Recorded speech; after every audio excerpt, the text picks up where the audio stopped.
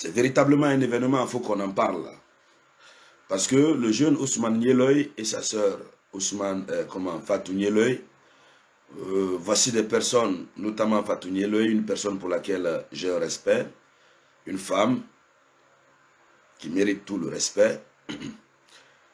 Mais ce qui se passe dans le cas de la famille Nieloy, après ma vidéoconférence, vous allez comprendre beaucoup de choses et ça va vous donner beaucoup d'idées. Déjà, pour ceux qui ne sont pas informés, on a partagé, j'ai partagé sur la page.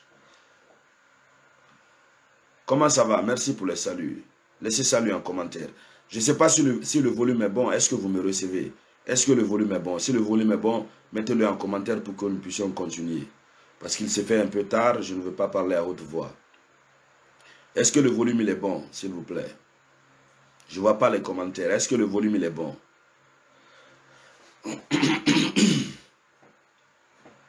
Néanmoins, en attendant que je voie, voilà, ok, ça marche, Alassane Ba. Donc, laissez les cœurs, laissez les cœurs, laissez les cœurs et partagez la vidéoconférence. Donc, déjà, ce qu'il faut dire, ceux qui ne savent pas, il y a une plainte qui a été portée contre le jeune Ousmane Nieloy. Le jeune Ousmane Nieloy a eu à insulter, selon les dits de son avocat et selon les dits de la dame, Ousmane Nieloy a insulté la dame Deka. Le père de la dame Deka. Je crois honorable euh, bureau, sauf erreur de ma part, au Boiro. En tout cas, un truc comme ça. On n'avait pas manqué d'en parler ici sur la tribune de l'éveil des consciences. Le jeune Nieleux, nous savons qu'il est habitué aux injures publiques. On a souvent eu à en parler, même moi j'ai eu à en parler, quand on avait tapé le jeune sur sa tête, quand la dame l'avait frappé. J'avais fait une vidéo conférence spécialement. Je ne voulais pas parler de ce jeune, mais j'étais obligé d'en parler pour permettre à d'autres jeunes de comprendre et pour permettre, pour permettre à la justice guinéenne de comprendre qu'elle devrait prendre ses responsabilités face à tout ce qui se passait pour éviter que les gens se rendent justice eux-mêmes. Voilà, Eladj Biro, merci, merci. Merci Adiatou Diallo, elle est toujours là pour me sauver. Merci vraiment. Eladj Biro, merci Samouraï Adiatou Diallo. Donc, euh, on avait en parlé. Alors aujourd'hui, qu'est-ce qui se passe? L'avocat de la dame a demandé, notamment Maître Pépé Antoine Lama, a demandé à ce que le jeune soit condamné. Et ensuite, peine d'emprisonnement et ensuite euh, une condamnation euh, pécuniaire de payer un franc symbolique. Et par la suite, c'est le procureur qui a eu à requérir 5 ans d'emprisonnement contre le jeune. Quand le procureur fait sa réquisition, même si le juge valide, il a la possibilité d'aller en appel. Donc, pour ceux qui ne savent pas, voici l'information. Cinq ans d'emprisonnement a, été requis contre le jeune. Ça ne veut pas dire qu'il doit aller immédiatement en prison. Et par la suite, qu'est-ce que son avocat dit, qui est Maître Pépé Antoine Lama, l'avocat de la dame Deka? Il demande à ce qu'on puisse faire une interdiction formelle désormais aux jeunes, une interdiction définitive désormais aux jeunes de toucher à l'application Facebook. Parce qu'il a eu à commettre ces infractions-là par le biais de l'application Facebook. Tous ceux qui viennent de rejoindre la vidéoconférence, laissez salut en commentaire, s'il vous plaît. Et laissez les cœurs et partagez la vidéoconférence. Il faut éviter que les gens qui viennent laisser les têtes de mort là, qu'ils continuent à signaler nos vidéos. Donc, voici ce qui s'est passé pour ceux qui n'avaient pas l'information. Maintenant, voici les vérités du samouraï. Avant que je dégage mes vérités, s'il vous plaît, partagez la vidéoconférence et laissez assez de cœur. Voici mes vérités par rapport à cette situation. Ceux qui ne comprennent pas doivent comprendre. Laissez-moi les cœurs. Laissez les cœurs, s'il vous plaît. D'abord, un. Le jeune Ousmane Nieloy et sa sœur sont victimes d'une situation de frustration politique. Les deux sont dans la frustration politique. Ousmane Nieleu et sa sœur sont dans la frustration politique. Au demeurant, au départ, les deux étaient de l'UFDG. Leur père, à en croire à eux-mêmes leur dire, leur père, Elage Nieloy, était le mentor de Selouda Diallo. Et tout a basculé après la mort, pendant la mort ou à la période du décès du, papa de la famille Nieloy. Qui, à en croire au dire de ces jeunes Nieloy, était le mentor de Selouda Diallo dans le cadre de la politique. À en croire à leur dire, c'est pas Ousmane, si je ne m'abuse, qui a confié Selouda Diallo à leur papa. Donc les deux étaient des amis sur le plan politique, sur le plan de l'érudit, sur le plan religieux et tout. Voici d'abord le problème, voici l'origine du problème. Laissez-moi les cœurs s'il vous plaît. Laissez les cœurs. Laissez les cœurs s'il vous plaît et partagez la vidéoconférence. Tous ceux qui viennent de rejoindre la vidéoconférence, laissez salut en commentaire. Donc voici le problème, le début du problème entre eux.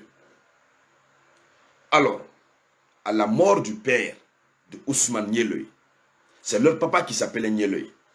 Je crois Elage Oumar Nieloy. À la mort de leur père, à en croire à ce qu'ils disent, Selou n'a pas été. Il n'a pas envoyé une délégation. Il n'a pas été au lieu de décès pour présenter ses condoléances d'usage. Il n'a pas non plus présenté une délégation, envoyé une délégation censée parler en son nom. Et à la mort, et après, je crois le lendemain, à en croire au dire de la famille Nieloy, au lendemain du décès de leur père, c'est un autre ami de leur papa qui décède.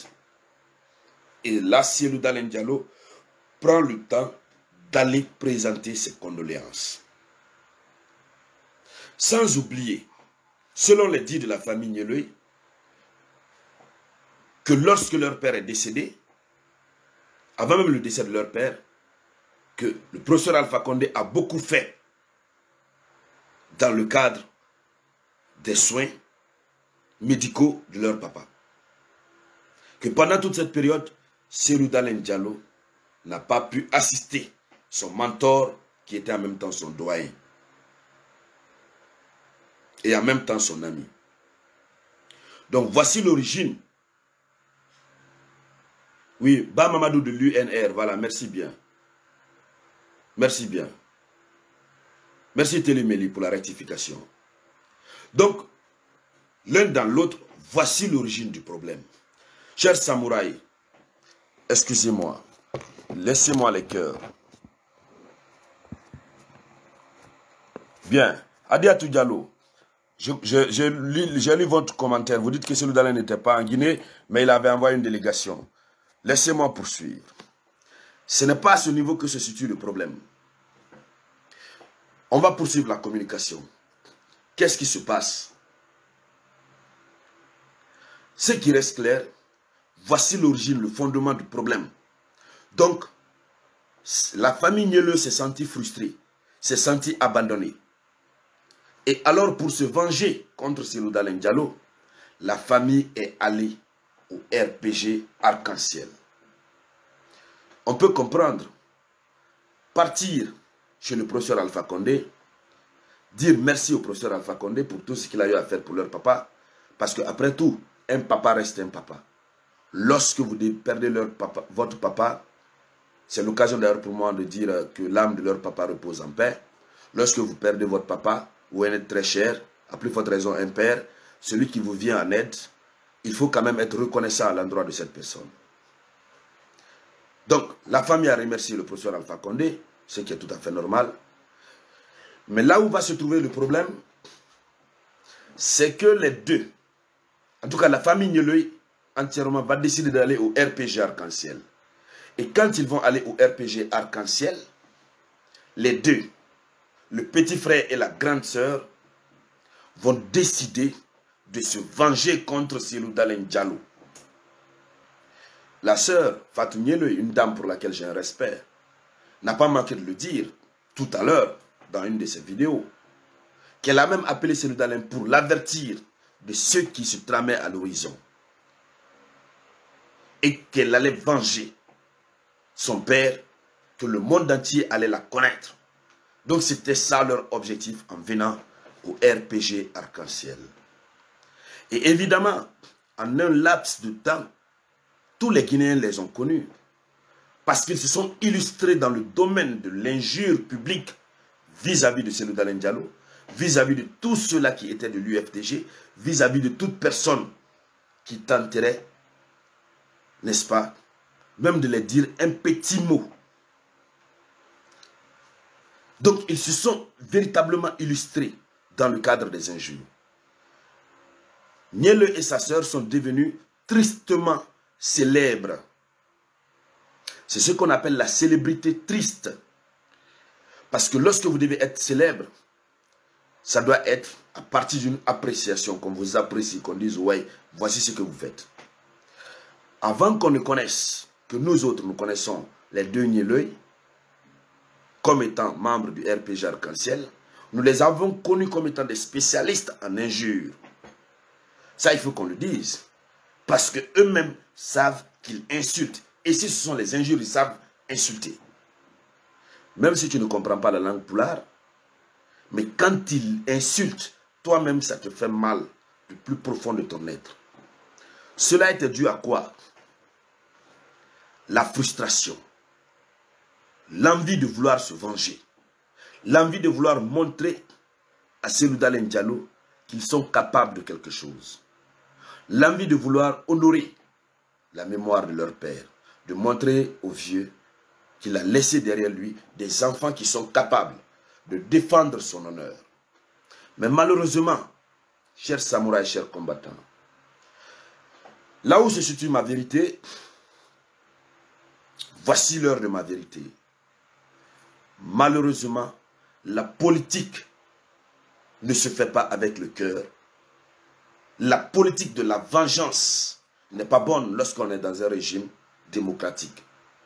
Lorsqu'on est jeune et qu'on s'engage en politique, on ne doit pas aller avec un esprit de vengeance. On va en politique avec la conviction. Lorsque vous rentrez en politique avec la conviction, vous agissez avec l'esprit et non pas le cœur. Vous n'allez pas agir avec la passion. Tous ceux qui entrent en politique avec l'objectif de se venger vont toujours être confrontés à des difficultés, comme ce à quoi la famille Niolet est confrontée aujourd'hui. Nous sommes tous des êtres humains. Laissez-moi les cœurs, s'il vous plaît. Tous ceux qui viennent de rejoindre la vidéoconférence, laissez salut en commentaire. Nous sommes tous des êtres humains. Mettez-vous à la place de la famille Niolet, des deux.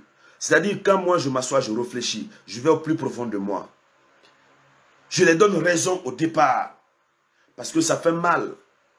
Le meilleur ami de ton père. Tu vois que ton père tombe malade. Si c'est vrai, tu ne vois pas la personne intervenir, etc. Ça fait mal. Mais encore que ça ne doit pas être des mobiles qui doivent pousser un citoyen à s'engager en politique avec l'amour de la vengeance. Lorsque vous vous engagez en politique avec l'envie de vous venger, vous allez toujours être confronté à des ennuis. Vous allez toujours être confronté à des difficultés auxquelles même vous-même vous allez parfois vous asseoir, vous allez dire mais j'ai fait quoi? Je vous donne un exemple concret de mon ami et mon frère euh, Madik sans frontières. Je n'aime pas souvent parler de Madik. Madik est un ami, on s'est connu sur les réseaux sociaux, on a eu à échanger. Heureusement, on a constaté, j'ai constaté qu'il faisait de l'art. D'abord, c'est lui qui a constaté que je faisais de l'art. Et j'ai constaté aussi qu'il faisait de l'art. On a continué à échanger. Le jeune frère de Madik, qui a été d'ailleurs surpris la dernière fois, il m'appelle grand frère. Après, quand j'ai publié mon âge, il dit, mais grand frère, on ne peut pas être du même âge. Kader, on a étudié ensemble. Vous avez vu quand Kader a expliqué les raisons qui ont poussé Madik sans frontières à adopter tous les comportements qu'il adoptait dans le cadre de son combat politique, vous comprenez que c'était de la frustration. Et moi, mon message de ce soir, le point focal de mon message de ce soir, c'est de te dire à toi jeune qui est en train de me suivre ce soir, à toi combattant, toi qui fais la politique, c'est de te dire, on ne fait pas la politique en se basant sur la frustration. C'est-à-dire, on est frustré, on veut se venger. On ne fait pas la politique comme ça. Parce que lorsque vous vous mettez dans la logique de la vengeance, c'est-à-dire, vous agissez avec la frustration. Vous voulez vous venger.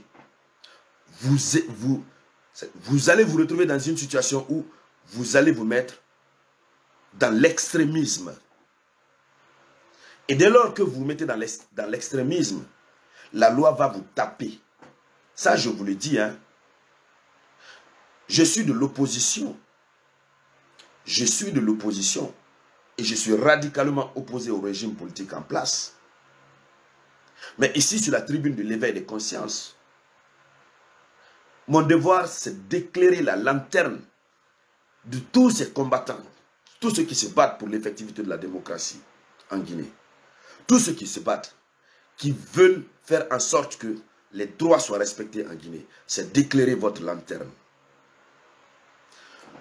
On ne s'engage pas en politique avec la frustration. Je prenais l'exemple de Madik sans frontières. Vous avez vu Madik sans frontières a plaidé coupable. Ça veut dire quoi? Certains ont dit non, on l'a obligé, etc. Madik sans frontières a plaidé coupable. Ça veut dire qu'il a reconnu les faits qu'on le reprochait.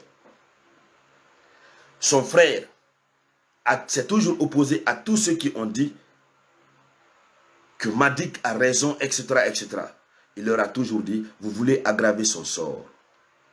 D'aucuns, vous allez me dire, non, bon, parce qu'il est dans les mains d'un régime de dictature, c'est une manière, juste une technique pour le faire sortir.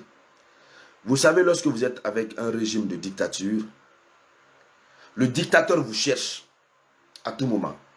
Même si ce n'est pas un régime de dictature.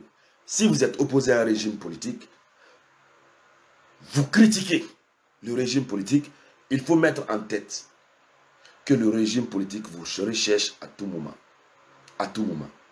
La moindre erreur de votre part de violer la loi, vous allez vous retrouver devant les barreaux. Et quand vous allez vous retrouver devant les barreaux, le régime politique va vous présenter ses preuves. Et vous n'aurez rien à dire. Je prends l'exemple du cas de Madik sans frontières, même si ce n'est pas lié, pour simplement vous dire l'essentiel de mon message de ce soir, que lorsqu'on fait la politique, et on vient en politique pour se venger, parce que dans le cas de Madik sans frontières, qu'est-ce qui s'est passé? C'était encore la même situation. Le père de Madik était l'ami intime d'Alpha Condé. Quand il partait à Dabola, c'est chez eux qu'il dormait. Le père de Madik a même perdu son boulot à cause d'Alpha Condé, quand il était opposant. Et aujourd'hui, il n'y a pas eu la reconnaissance. Donc, les enfants du, papa de Madik se sont levés contre Alpha Condé, plus particulièrement Madik sans frontières. Vous voyez? C'est à peu près le cas opposé dans le cas de la famille Nieloy. Donc, rentrer en politique. Si on n'entre pas en politique avec la conviction, tu t'engages, tu dis oui, je m'engage parce que je vois ma nation souffrir. Je veux faire développer ma nation. Même s'il y a des antécédents entre toi et un leader politique, par exemple celui qui est au pouvoir ou bien celui qui, est dans l'opposition, il faut faire tout possible, laisser ses antécédents de côté, mettre l'intérêt du supérieur de la nation en avant. Sinon, encore une fois, vous allez tomber dans l'extrémisme. Et dès lors que vous tombez dans l'extrémisme, vous allez vous heurter à la loi. Le cas si présent de Ousmane Nieloy, vous avez dû voir ses publications. Le jeune dit qu'il ne s'inquiète pas, qu'il est à Conakry, que les gens disent qu'on le cherche, etc. Oui, c'est une manière de parler. Mes chers samouraïs, lorsque vous avez des ennuis judiciaires, lorsque vous avez déjà la justice à votre trousse, quel que soit le semblant que vous voulez faire, vous n'aurez pas le cœur posé. Quand j'ai suivi la vidéo de sa sœur, j'ai eu pitié d'elle. J'ai eu pitié. Elle a dépéri tout d'un coup. C'est vrai qu'elle a voulu donner des explications, mais vous sentez que ça, ça l'a fait mal. C'est elle la grande sœur. Lorsqu'on a dit que son jeune frère doit aller répondre de ses actes, ça l'a fait mal. Elle imagine déjà la gravité. Et aujourd'hui, le régime politique de Conakry est sévèrement critiqué, tant par les institutions nationales que les institutions internationales. Les rapports récents dont on a eu à faire allusion, on dit que les droits de l'homme ne sont pas respectés. Et ce jeune fait partie des gens qui insultent publiquement. Et notre justice est accusée de faire deux poids, deux mesures. C'est-à-dire notre justice est accusée d'appliquer la loi parfois pour certains et de ne pas l'appliquer pour d'autres. Alors, la Guinée, la justice guinéenne est dans une position de chercher à redorer son image. Mon frère, dans cette position-là, quel que soit l'amour que le président de la République a pour Nieleuil, quel que soit l'amour que les cadres ont pour Nieleuil, quel que soit le sentiment qu'ils ont pour lui, eh, ils ont encore plus de sentiments pour leur intérêt que Nieleuil. ces hommes politiques, on le dit très souvent que Nieleuil est soutenu, il est encadré et tout, mais ils sont prêts à sacrifier Nieleuil. Ils sont prêts à l'abandonner. Quand je dis abandonner, c'est trop dit. Si déjà il les preuves tangibles, concrètes, qui attestent que le monsieur a insulté, les faits qui lui sont reprochés, on a les preuves palpables. Et c'est flagrant devant tout le monde. Comment est-ce qu'un président de la République va appeler, fut-il l'amour qui existe entre lui et Niele, comment il va appeler pour dire, bon, il faut laisser ce jeune libre Qu'est-ce que la communauté internationale va dire? Au jour d'aujourd'hui, la communauté internationale a ses radars braqués sur la République de Guinée. C'est comme, je vous dis, c'est typiquement la même chose. Presque la même chose comme le cas de Madik. Aujourd'hui, beaucoup accusent Selouda Diallo. On dit que Selouda Diallo ne fait rien pour ses, pour ses militants qui sont en prison. On prend l'exemple sur Madik, etc., etc. Si la prison de Nieleuil peut permettre au régime du RPG Arc-en-Ciel, de redorer l'image du système, le ira en prison. Il n'y a même pas de débat. Donc, ce cas-ci doit vous permettre, tous ceux qui auront l'occasion de suivre cette vidéoconférence du samouraï, tous ceux qui sont en train de me suivre, ces deux cas, et surtout ce cas-ci doit vous permettre de comprendre qu'on ne doit pas s'engager en politique pour aller se venger. On s'engage en politique pour aider la nation à connaître un développement, pour aider les citoyens à réussir. Mais l'histoire a démontré que tous ceux qui s'engagent en politique avec l'intention de se venger, on a dit, il y a un adage très célèbre qui le dit, la vengeance est un plat qui se mange à froid, ça ne se mange pas à chaud. Lorsque vous vous engagez en politique, vous voulez peut-être vous venger, allez-y tranquillement. Respectez les règles. J'ai toujours jamais manqué de vous le dire ici. Vous êtes libre de dire tout ce que vous pensez, tout ce que vous voulez. Mais encore une fois, soyez en conformité avec les textes. Sinon, vous allez vous retrouver en face d'une situation. Aujourd'hui, le jeune, il a des ennuis judiciaires. Et moi, je connais Maître Pépé. C'est mon ami. C'est mon ami en dehors de l'amitié, sur le plan professionnel, je le connais. Voici quelqu'un qui ne joue pas avec les dossiers. Non, il ne joue pas avec. Lorsque la Guinée a voulu jouer avec l'un de ses premiers dossiers, le massacre de Zogota, c'était en 2012-2013. On venait nouvellement à peine de terminer les études. Le monsieur venait nouvellement d'être engagé. Mais il a fait, Maître Pépé a fait condamner l'État guinéen devant la cour de la CDAO tout récemment. Voici quelqu'un, quand il est engagé, il est engagé. Aujourd'hui, le jeune il a des ennuis judiciaires. Pourquoi? Parce que cette frustration qu'il avait accumulée, l'envie de vouloir venger son père, les a poussés à aller dans l'extrême. Les gens du RPG Arc-en-Ciel, les hommes politiques, chers samouraïs, il faut faire attention avec les hommes politiques. On les acclamait. On les donnait même des satisfecits. Mais vous avez vu, le jour même de l'investiture, j'ai dit, quand la fille, la petite fille a pleuré, j'ai eu pitié d'elle. Sincèrement. Pour qu'elle m'excuse. Quand je dis petite fille, c'est une grande dame, une femme qui a les enfants. Je dis simplement petite par rapport à, moi peut-être. J'ai eu pitié d'elle. Quand j'ai vu Fatou Nielo en train de pleurer. En disant que le RPG n'a pas été reconnaissant à leur égard, etc. Elles se sont battues pour que le professeur Alpha Condé ait le troisième mandat et le jour de l'investiture, on ne les donne même pas une carte d'invitation. J'ai eu pitié d'elles. Et c'était là le début de leur souffrance.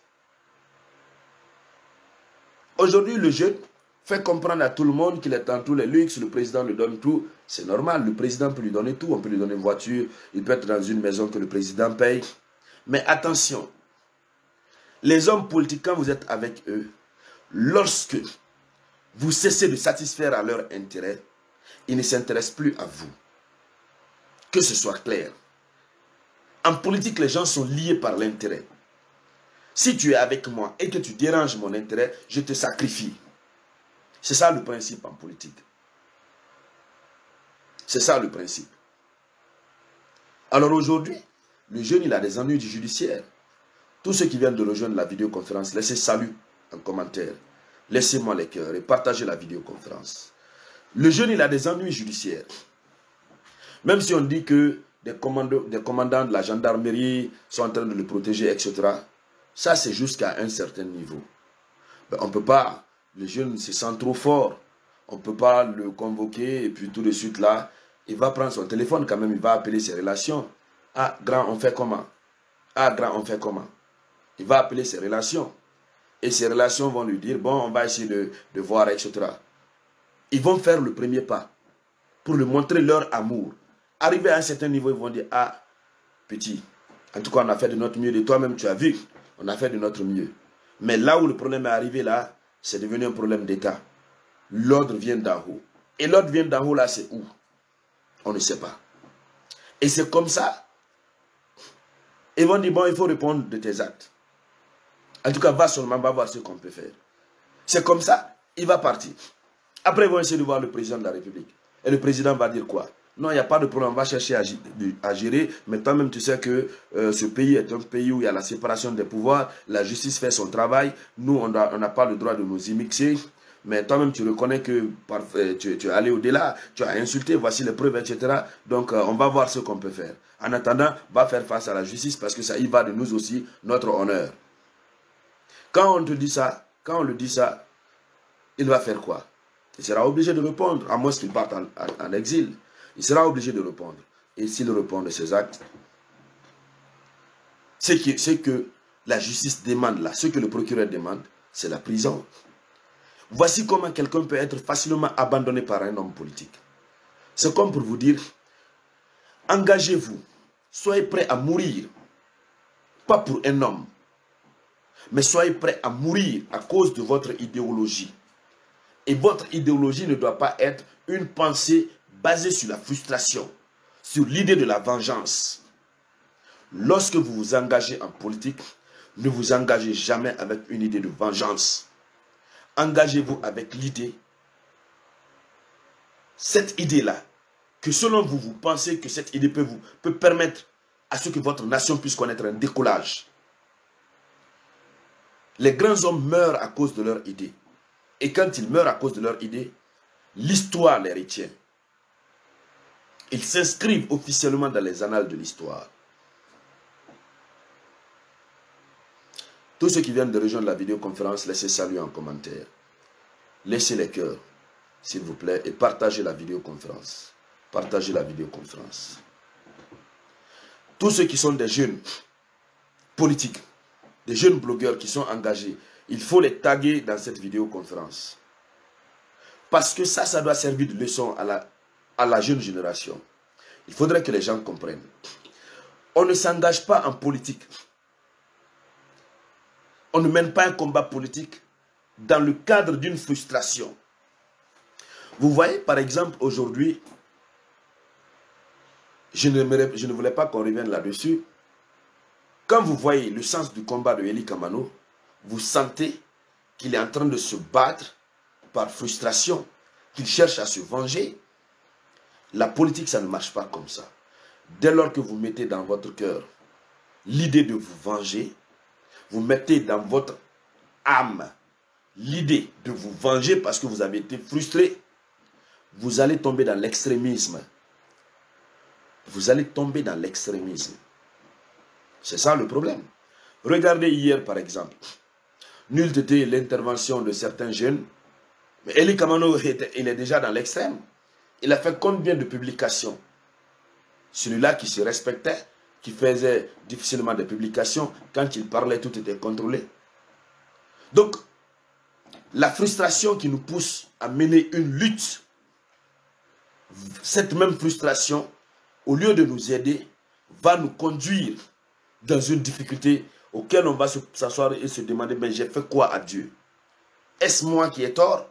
Aujourd'hui, quand le petit, le jeune mielleux s'assoit, il se demande, mais qui a tort? Il se demande qui a tort. Il ne peut pas croire que lui, il a été abandonné et qu'il essaie de se venger, mais après tout retourne contre lui. Ce qu'il ne sait pas, c'est qu'il est tombé dans l'extrémisme. C'est pourquoi, aujourd'hui, il a ses ennuis judiciaires.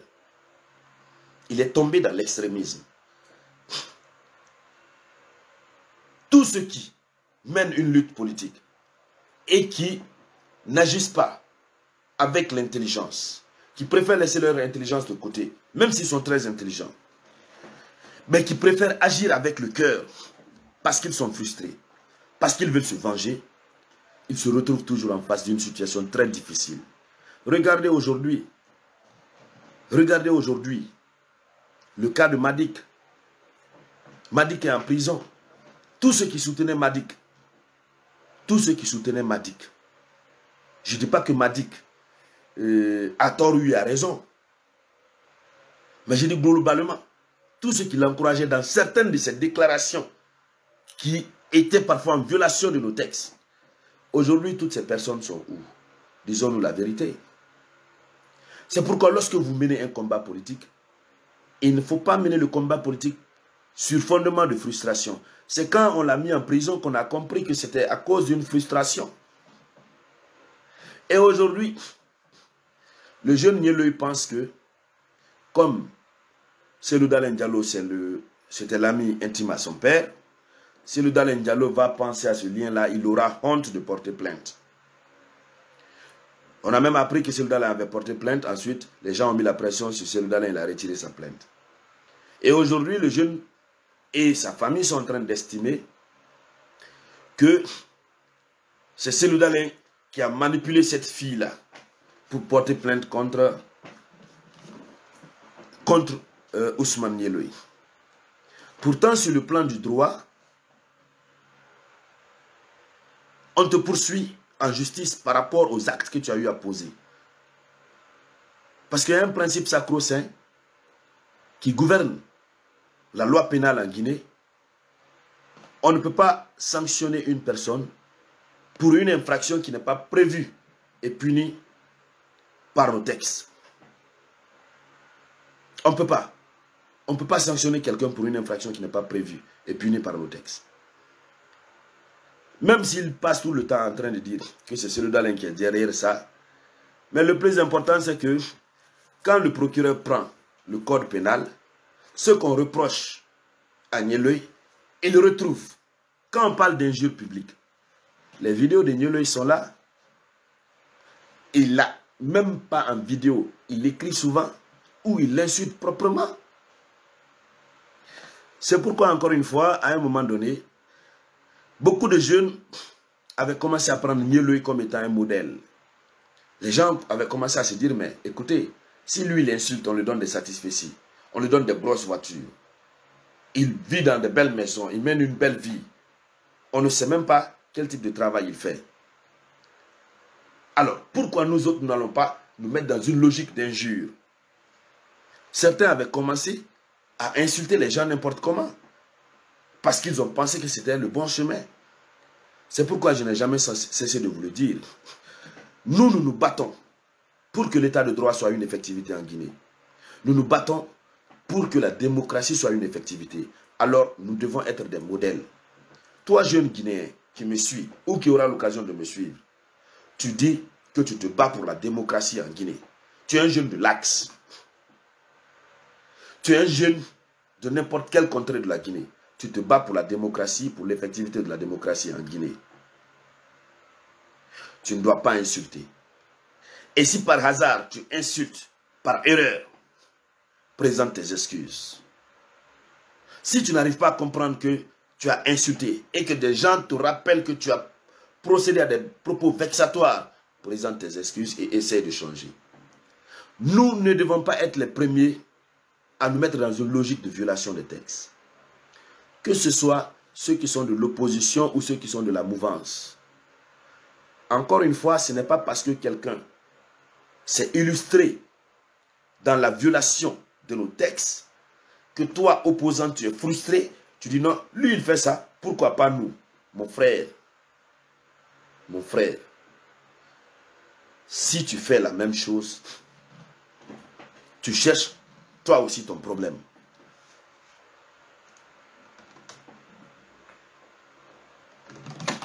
Vous voyez le jeune Corboya Baldé? C'est pourquoi il faut se former. Lorsque vous êtes en politique, vous voulez faire la politique, il faut se former. C'est pourquoi ceux qui n'ont pas de notion, venez souvent suivre le guide de l'éveil des consciences. Venez suivre le samouraï que je suis. Lorsque vous êtes en politique, il faut vous former. La politique, il ne s'agit pas juste d'avoir le verbe facile, de savoir parler. Mais il faut savoir qu'est-ce que tu peux dire qu'est-ce que tu es autorisé à dire et qu'est-ce que tu n'es pas autorisé à dire? Que tu sois de la mouvance ou que tu sois de l'opposition.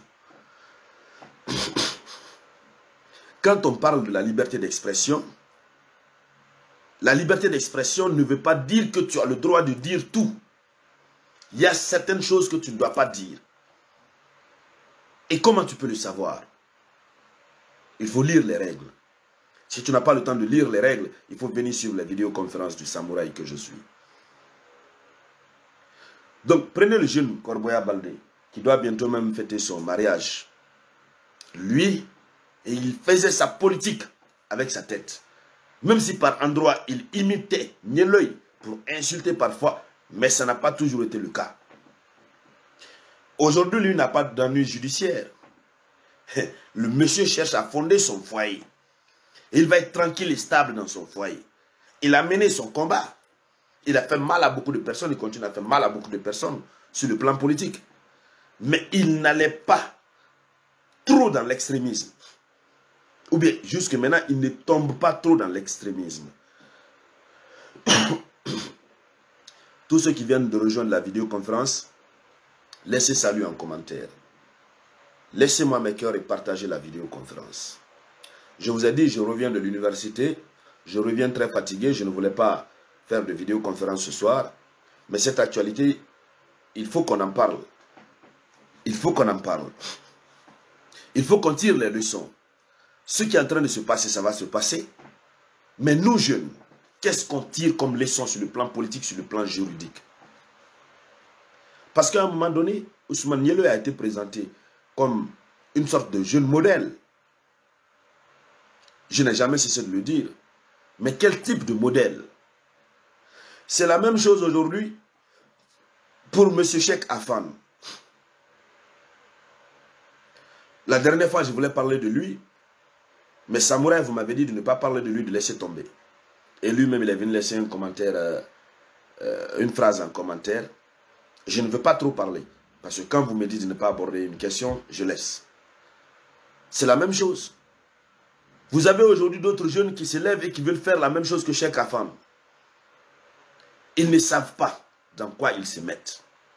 Nous sommes dans un monde où il faut éviter d'imiter les gens. Suivez votre chemin. Si toi, jeune, tu es venu sur les réseaux sociaux, tu veux te faire connaître, tu n'es pas encore connu, continue à mener ton combat. Doucement et tranquillement. Tu veux te faire connaître, tu seras connu un jour dans le cadre de ton combat politique. Mais si tu veux imiter quelqu'un, tu ne sais pas.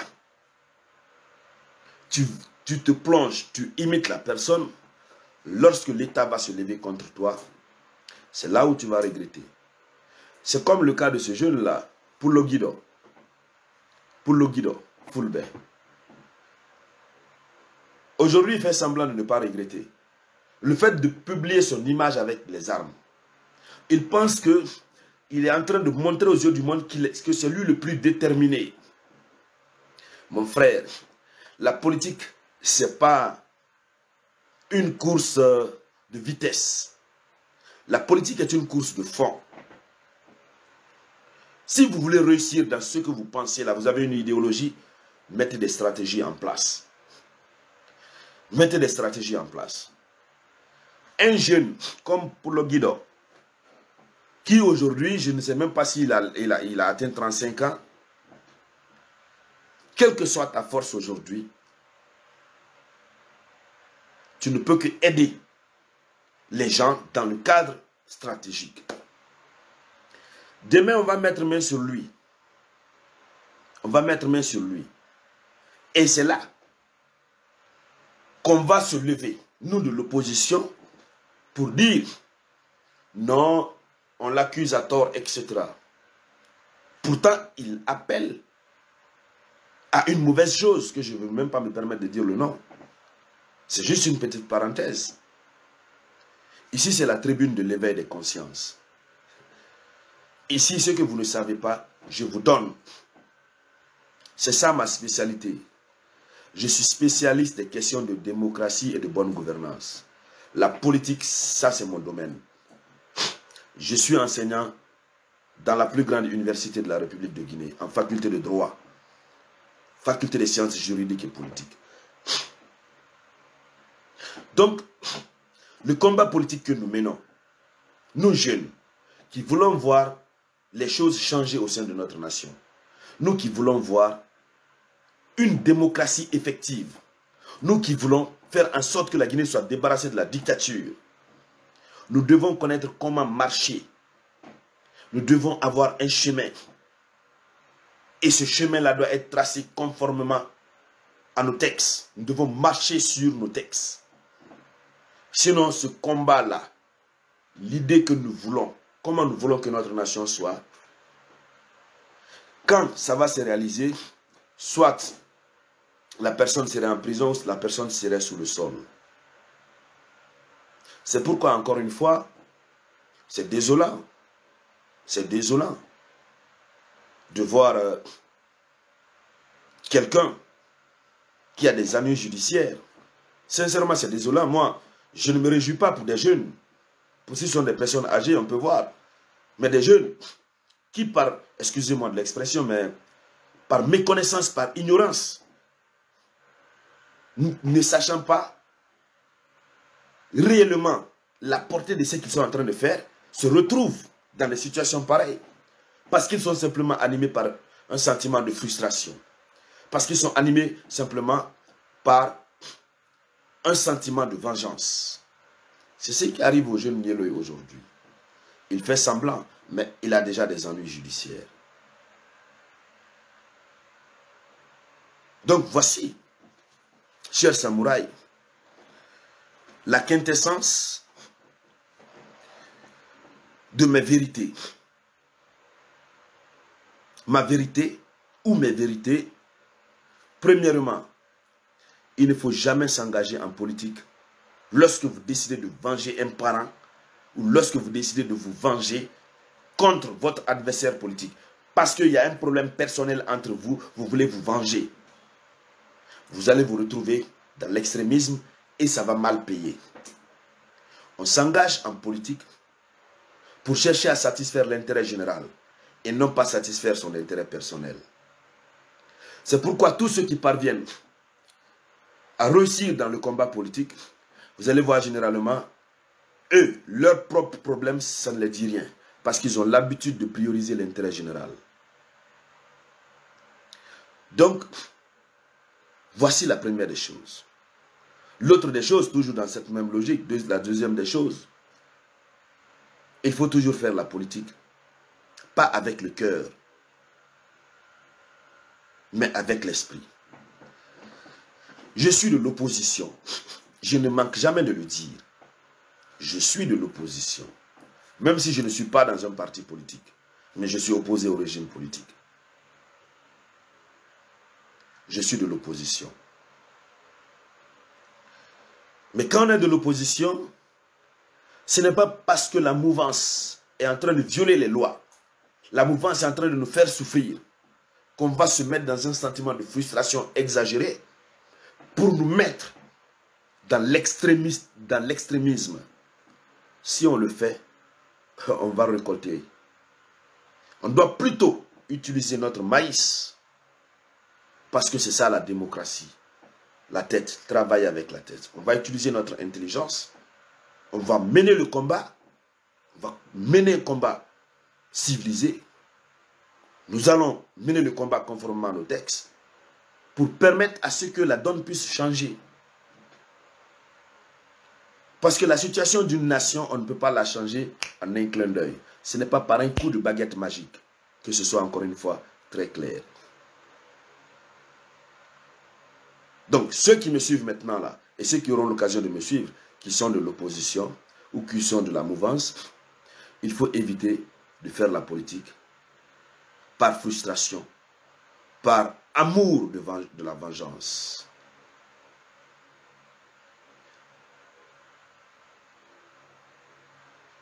Alors, chers samouraïs, chers combattants, Sanou Diallo, comment ça va mon cher? Gorko Soussaï. Oui, tu as raison. Et aujourd'hui, ils, vont, ils, vont, ils récoltent ce qu'ils ont sémé. Ils récoltent évidemment ce qu'ils ont sémé. Le jeune Nieleu a commis des infractions. L'injure publique, c'est condamné. C'est condamné, prévu et puni par nos textes. Et malheur pour lui, c'était sur Facebook, il insultait. Les vidéos sont enregistrées. Même s'il supprime, les preuves sont là déjà. C'est ça. Et je le disais tout à l'heure. Le régime politique de Conakry est aujourd'hui abandonné. Le régime de Conakry est aujourd'hui abandonné par la communauté internationale parce qu'on estime que les droits de l'homme ne sont pas respectés. Le dernier rapport du département américain en charge des droits de l'homme et du travail a incriminé, a accablé le régime de Conakry. Donc au jour d'aujourd'hui, qui que tu sois, si tu violes la loi, pour permettre au régime de Conakry de donner une bonne image, mon frère, tu vas être sanctionné. Tu vas être sanctionné. C'est ça. C'est ça. Donc, chers samouraïs, je ne peux que vous dire merci à toutes et à tous. Tous ceux qui ont suivi la vidéoconférence jusqu'à la fin, je vous dis merci. Je vous dis merci. À Tcherno, merci bien, longue vie à vous aussi. Je dis merci à tout le monde. Et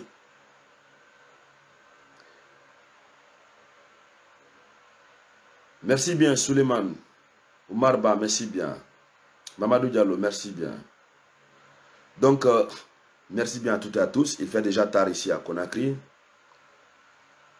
Nous sommes euh, actuellement à 23h54. Je vais devoir... Euh, merci bien Mamadou Diallo. Il dit parmi tous les gens qui font des vidéos, tu es mon préféré. Merci bien, je vous aime aussi mes samouraïs. Donc je vais devoir vous laisser. Passez une excellente nuit.